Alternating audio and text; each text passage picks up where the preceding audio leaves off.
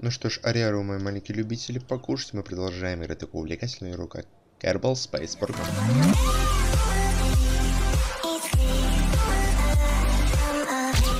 Ну, как я это люблю говорить, между записями прошло большое количество времени.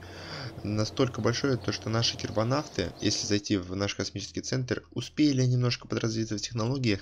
Настолько, что они открыли новые ветки науки, открыли новые способы изучения всего и что позволит нам изучать науку более продуктивно. А с последующим изучением науки, изучением нашего окружающего мира на Кербине, мы сможем открывать все новые и новые технологии и обучаться всему чему-то новому постоянно. Хотя некоторые ветки науки, которые можем изучить пока закрыты и не дадут нам ничего, но тем не менее, все-таки новые процедурные детали, которые нам доступны, они все-таки добавляют. Это связано с тем, что по мере игры, я как уже и говорил, я буду добавлять новые моды. Так как у меня 3 миллиона зелени, я, пожалуй, могу улучшить улучшить наши центр сборки, могу улучшить наши здания, пока нам позволяют на это финансы. У нас сейчас миссия сделать космическую станцию. Вообще на задание а, состыковать два космических аппарата, но я сразу буду делать космическую станцию на Керби для того, чтобы в последующем заправлять аппараты космические, ну или заниматься прочими делами. Первая часть модуля это будет, как всегда, антенна, а, то есть спутниковая тарелка, которая должна будет выполнять функцию связи ну, примерно такой вот спутник получается. А, да, он небольшой, но нам не требуется большой. По факту он что? Он снабжен тарелками, солнечными панелями, да, да аккумуляторной батареей. Больше ему ничего не нужно, потом будут отдельные части добавляться, но... И ну и стыковочным портом, соответственно. Больше ничего ему не нужно. И сейчас мы будем заниматься тем, чтобы выводить его на орбиту. Я немного решил пока есть возможность модифицировать нашу ракету, которую, то есть возвращаемую ступень, учитывая э, все ошибки, которые были в прошлые разы, и чтобы их не допускать, ну, в полете я уже покажу, что именно я решил изменить. Вообще я планирую всю нашу станцию запускать именно с помощью возвращаемой ступени. Во-первых, это поможет сэкономить средства, ну, наверное, это главная причина. Ну, примерно вот такая вот часть спутника у нас должна у нас получается, и я надеюсь, что она будет способна на свершения большие. Запускаю алгоритм выхода на орбиту возвращаемой ступени. Отстыковка вспомогательных ускорителей.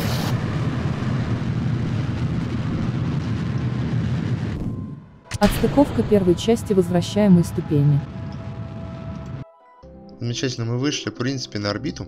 Перигелий 98, по гелий 101, замечательно.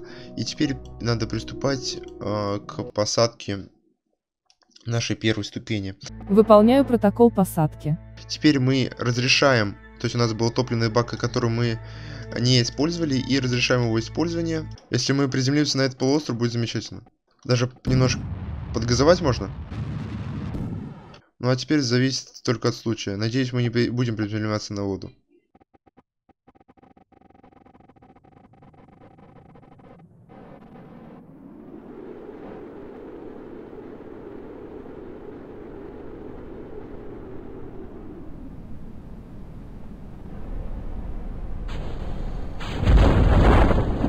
Тормозные парашюты открываются, и можно выпускать основные парашюты. Замечательно.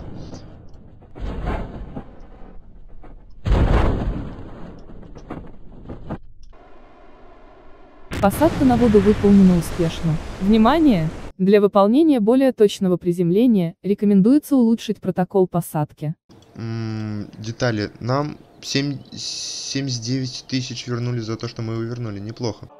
А, я понимаю то, что нужно сейчас разобраться с нашей космической станции, но мы забыли о нашем минус один, который здесь вот э, болтается у нас на поверхности Луны, и мы должны будем его вернуть непосредственно. В прошлый раз забыл о нем совершенно. Выполняю протокол по выходу на орбиту Кербина. Мы с нашей станцией космической вращаемся в одну сторону.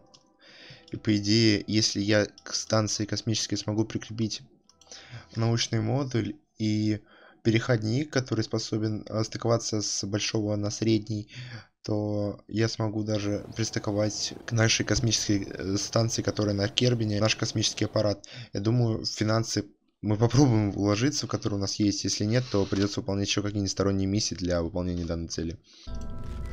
В итоге я не стал изобретать велосипед. Вот такая вот простенькая научная, научный модуль, в котором будет находиться у нас один всего ученый а, полетит у нас на стыковку с всем предыдущим спутником, который мы запустили до этого. Я увеличил количество топливных баков, добавил еще сюда топливные стержни. И вот такая вот, в принципе, у нас получается конструкция. То есть возник, могут возникнуть проблемы при запуске, но я сомневаюсь, что, что что-то может пойти не так. Я буду надеяться, что у нас все получится. Вам не по карману, серьезно.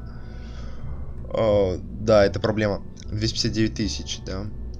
И нам ну, где-то надо сотню тысяч найти. Сначала нужно разобраться с предыдущим нашим аппаратом. Отделяем. Теперь мы должны где-то ее посадить. Так как процесс посадки не сильно отличается от того, что видели ранее, он показан не будет.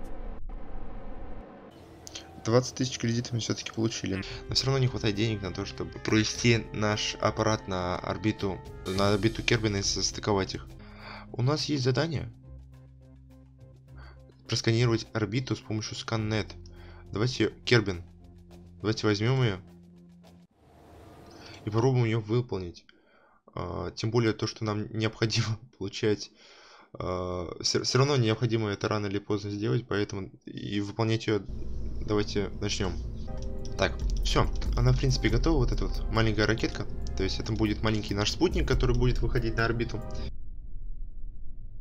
Выполняю протокол по выводу сканера на требуемую орбиту.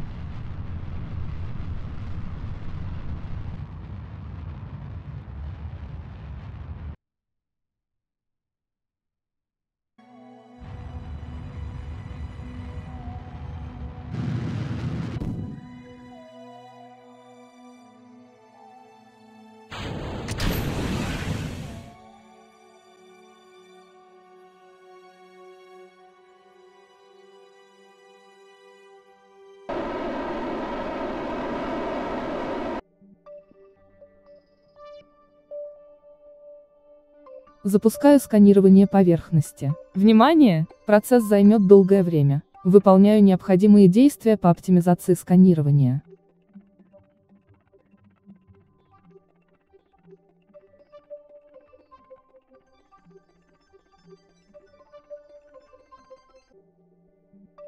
Выхожу на большую орбиту.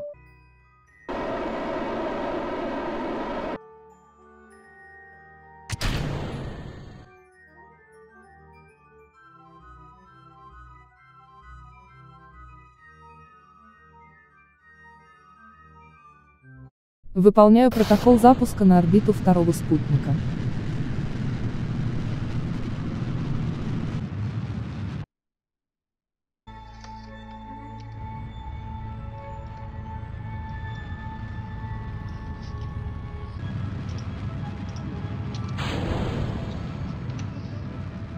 Выполню протокол выхода на орбиту Муны.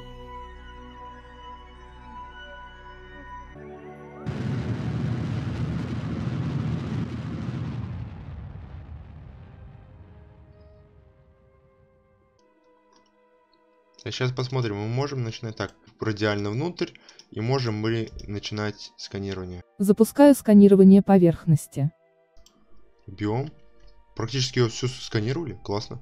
93%. По идее у нас контракт должен был выполниться, но почему-то нет. Возможно имеется в виду то, что у нас не тот скан-радар установлен. Но в итоге мы сделали сканирование поверхности Луны, что уже неплохо.